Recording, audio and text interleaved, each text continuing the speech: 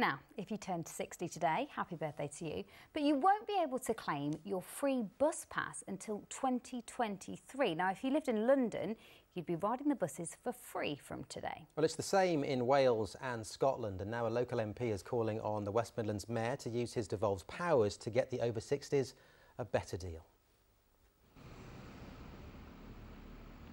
When your 60th birthday rolls around, here in the West Midlands, you'll still be years away from the free bus pass enjoyed by your contemporaries in Scotland, Wales, and London.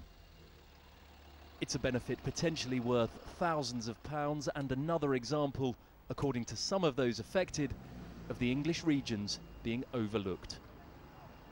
It's not fair, is it? Really? London getting everything as usual.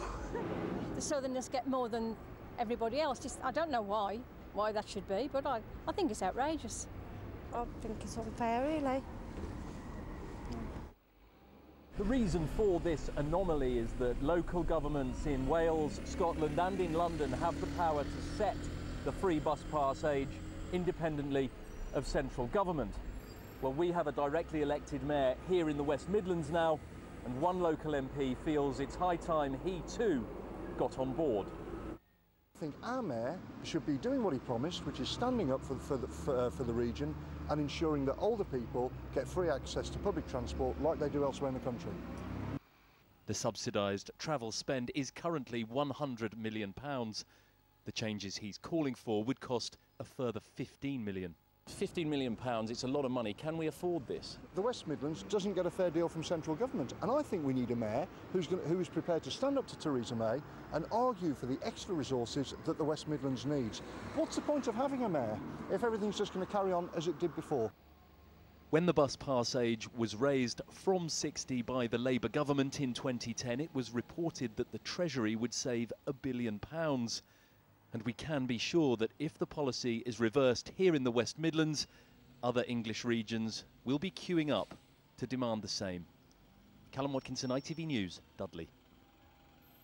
Well, we tried to speak to Andy Street for a comment today, but he was unavailable. He's the chair of the West Midlands Combined Authority, though, and in a statement it said, in addition to the English National Concessionary Pass Scheme, those aged 65 and above who live in the metropolitan West Midlands also enjoy free travel on the region's trains and trams. This additional benefit is paid for locally through council tax revenues. A woman from Stoke-on-Trent is defending her right to have a baby with one of Britain's most notorious prisoners.